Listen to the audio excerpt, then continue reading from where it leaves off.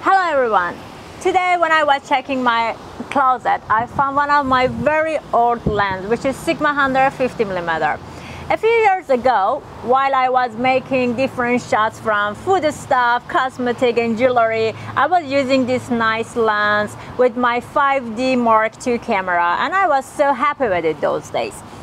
Uh, this time I was checking and say, well, uh, I don't need it. I can maybe sell it. But then I found that they're just gonna buy it like 300 US dollar. And it, it is so cheap I think to sell it. Because I bought it like 900 US dollar. And so I said let's try and test. Maybe maybe it is working. It's still working. And so I'm gonna try it with my camera Canon R5 today. And I want to check is it really worth to keep it with this uh, lens and with new camera series in 2023 is it still working? Let's check the result together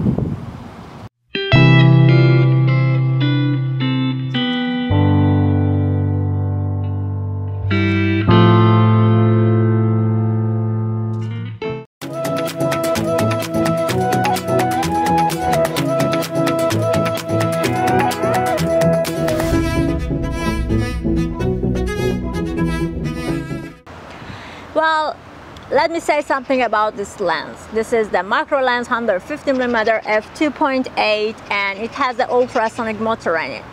The minimum closest focus distance is 38 centimeter and it has a stabilizer on it so it's easy to I mean to take the photos with it to take the shots with it and one more thing which is my concern is a bit the weight it's a bit heavy it's uh, around 900 gram so I want to check it today in this year 2023 with this variation of these macro lenses is it worth to keep it? Does it work for me or no? Let's check the result together.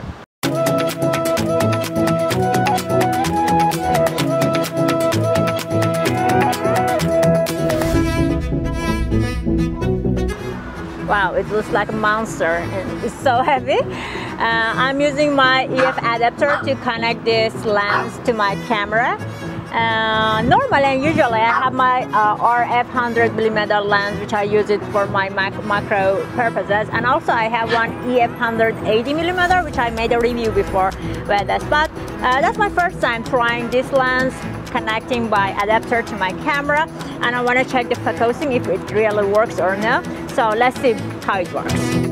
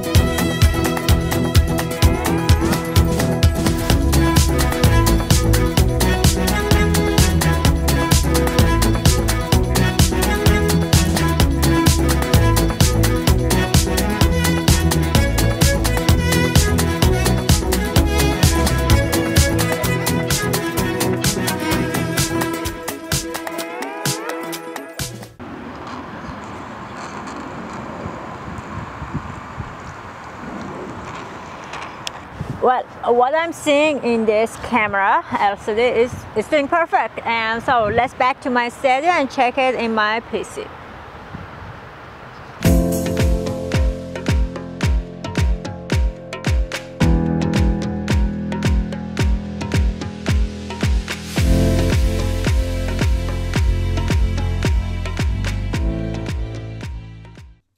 Well, we checked the videos together with this lens, beautiful legendary lens.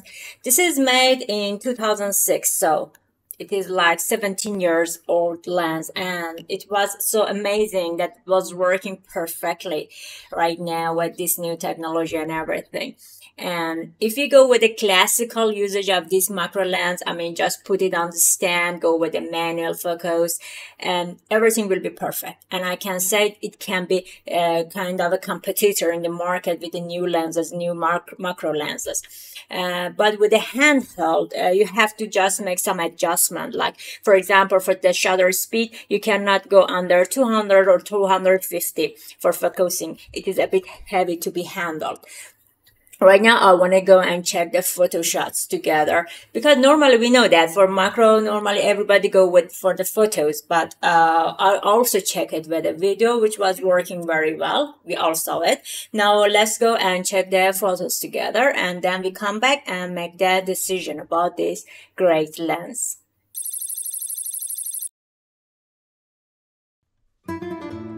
While all these photos are taken like handheld, uh, I use the shutter speed like 250 and my f is 2.8. Uh, as you see, the photos are so sharp.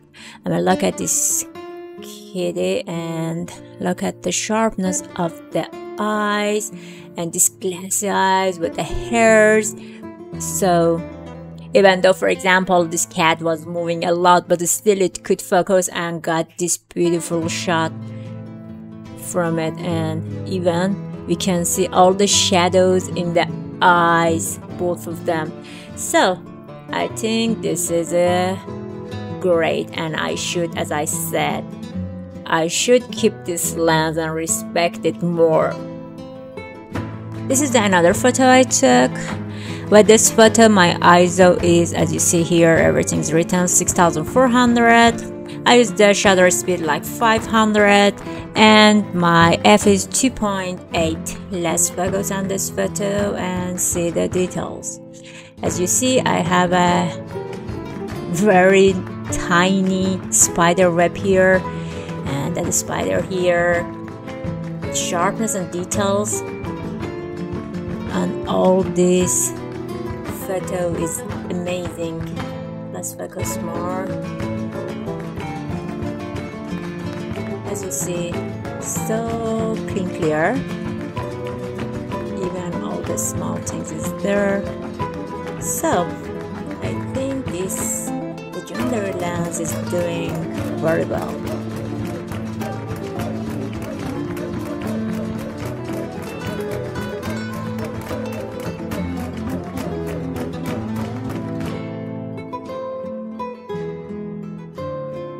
Well, let's check this cute photo of my puppy. Let's zoom in on his face. Ah, yeah, you see? The hair, his tongue, the eyes, the shadows also in the eyes. And this photo is taken like ISO, as you see here, 1250 and shutter speed is 250 and f is 4 so as you see all the details is there even all these hairs and the sharpness in the eyes even the shadows in his eyes you can see it very clearly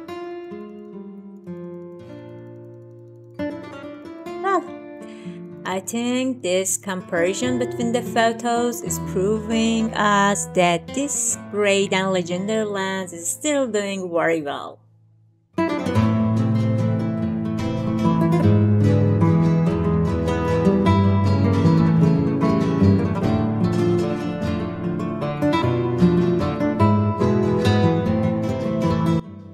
well, we all saw the shots, videos, and photos. Isn't it amazing to have such an old lens, like 17 years old lens, and working such perfectly? I mean, I'm so amazed. This lens, Sigma, my lens, it is maximum like 200 US dollar right now in the market, the second hand. So I'm gonna keep it because I like it very much. Uh, I was using one adapter to connect it to my camera and I was expecting that maybe the quality can be dropped a bit, but it was working very nice.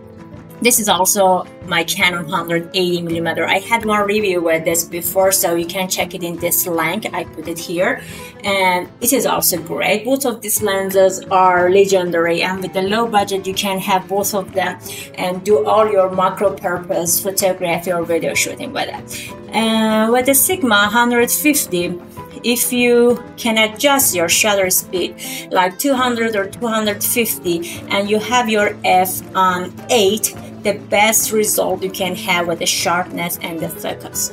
So today these two lenses which I have can encourage me to go back maybe on my video photo shooting um, maybe jewelries or food stuff. And so I'm very happy to have them. And I also recommend you to have them too. So until my next videos